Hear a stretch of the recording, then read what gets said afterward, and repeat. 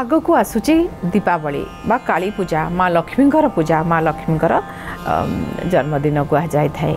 ତେଣୁ କାଳୀ ପୂଜା ଅମ୍, ହେଉଛି ତାକୁ କୁହାଯାଏ ଯେ ଅ, ଧନ ଅ, ରତ୍ନ ସୁଖ ସମ୍ପତ୍ତି ମା ଲକ୍ଷ୍ମୀଙ୍କର କୃପା ପାଇବାର ଦିନ ଆକୁ କୁହାଯାଏ ମହାକାଳ ରାତ୍ରି ତେଣୁ ମୁଁ ଆପଣମାନଙ୍କୁ କହି କହିକା ଯିବି ସବୁ କ'ଣ କଲେ ଲାଭ ମିଳିବ? ଦୀପାବଳିରେ କେଉଁ କାର୍ଯ୍ୟ କଲେ କ'ଣ ସବୁ କାମ କଲେ ଅ, ଧନ ସମ୍ପତ୍ତି ପ୍ରାପ୍ତି ହେବ ଆଶୀର୍ବାଦ ମିଳିବ ମା ଲକ୍ଷ୍ମୀଙ୍କର ଆଉ ଦୀପାବଳି ରାତି ରାତି ହେଉଛି ଅତ୍ୟନ୍ତ ଶୁଭ ରାତ୍ରି। ଏଇ ଅମାବାସ୍ୟା ଅତ୍ୟନ୍ତ ଶୁଭ ହେଇଥାଏ ଅମାବାସ୍ୟାକୁ। ଆମେ ସମସ୍ତେ ନେଗେଟିଭ୍ ଭାବିଥାଉ ଖରାପ ଭାବିଥାଉ। କିନ୍ତୁ ଦୀପାବଳି ରାତ୍ରି ହେଉଛି ଶୁଭ ରାତ୍ରି କୁହାଯାଏ। ମହାକାଳ ରାତ୍ରି କାଳ ପରିବର୍ତ୍ତନ ହୁଏ ଲକ୍ଷ୍ମୀ ମାଙ୍କର କୃପା ମିଳିଥାଏ। ତେଣୁ ଏଇ ଅ, ଦୀପାବଳି ରାତ୍ରରେ କ'ଣ କଲେ ଧନ ପ୍ରାପ୍ତି ହେବ ମୁଁ ଆପଣମାନଙ୍କୁ କହିବି। ଏକ ସୁନ୍ଦର ପ୍ରତିକାର କହୁଛି ଦୀପାବଳି ରାତ୍ର ଦୀପାବଳି ଦିନ ସକାଳୁ ଆପଣ ଗୋଟେ ସୁନ୍ଦର ତମ୍ବା ପାତ୍ର ଆଣନ୍ତୁ ଥାଳି ଭଳିଆ ଆଣନ୍ତୁ। ତା ଦେହରେ ଆପଣ ହଳଦିଆ କପଡ଼ା ପକାଇ ଦିଅନ୍ତୁ। ହଳଦିଆ କପଡ଼ା ଉପରେ କେଶର ହଳଦୀ ତା ଦେହରେ ସିନ୍ଦୁର ଚାରିକଡ଼ ପଦ୍ମଫୁଲ କରିକି ତା ଉପରେ ମୂର୍ଜ ପକାଇ ଦିଅନ୍ତୁ।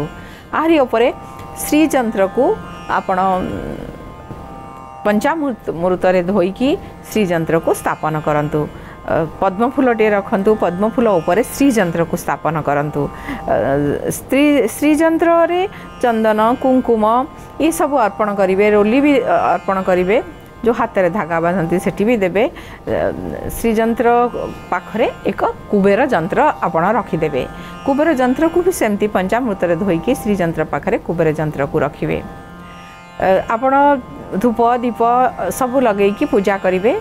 ପୂଜା କଲେ କରିସାରିକି ଅ, କମଳ ଗଟୁ ମାଳାରେ। ଶହେ ଆଠ ଥର। ଓಂ ଯକ୍ଷାୟ ନମଃ। ଓಂ ଯକ୍ଷାୟ ନମ। ଏହି ମନ୍ତ୍ରକୁ ଜପ କରିବେ। ଓ- ପୁଣି ଶହେ ଆଠ ଥର। ତା ପୂର୍ବରୁ ଆଗରୁ ଅ, ଓಂ ଶ୍ରୀ ମହାଲକ୍ଷ୍ମୀ ନମ। ଆକୁ ଶହେ ଆଠ ଥର ଜପ କରିବେ। ଆପଣ ଅ, ଧନତେରସରୁ ଦୀପାବଳି ଆଉ ତା ପରଦିନ ତିନି ଦିନ ତ୍ରୟୋଦଶୀ ଚତୁର୍ଦ ଚା- ତିନି ଦିନ ତ୍ରୟୋଦଶୀ ଚତୁର୍ଦ୍ଦଶୀ ଆଉ ଅମାବାସ୍ୟା ଏଇ ତିନି ଦିନ ଆପଣ ଏ ଏ କାର୍ଯ୍ୟକୁ କରିବେ ଧନ ତ୍ରୟ- ତ୍ରୟୋଦଶୀରୁ ଆରମ୍ଭ କରିବେ।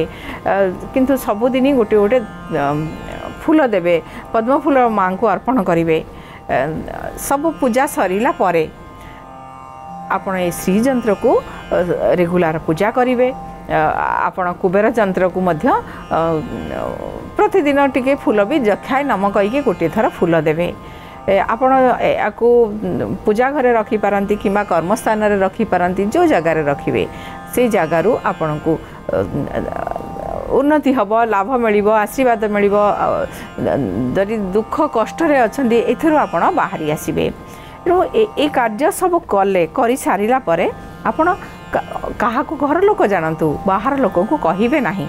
ଇଏ ହେଉଛି ଅ, ଗୁପ୍ତ ବିଦ୍ୟା ବା ଇଏ ଗୋଟେ ବହୁତ ଆଶୀର୍ବାଦ ଜିନିଷ ଆଶୀର୍ବାଦ ଶୋ କରନ୍ତିନି ଦେଖାନ୍ତିନି ନିଜ ଭିତରେ ରଖନ୍ତି। ଏ କାର୍ଯ୍ୟ ଆପଣ ଅ, କାଳୀ ପୂଜା ପୂର୍ବରୁ କରିବେ କାଳୀ ପୂଜା ଦିନ କରିବେ ଚତୁର୍ଦ୍ଦଶୀରେ କରିବେ ଆଉ ତା ସହିତ ଧନତ୍ରୟୋଦଶୀ ଦିନ କରିବେ।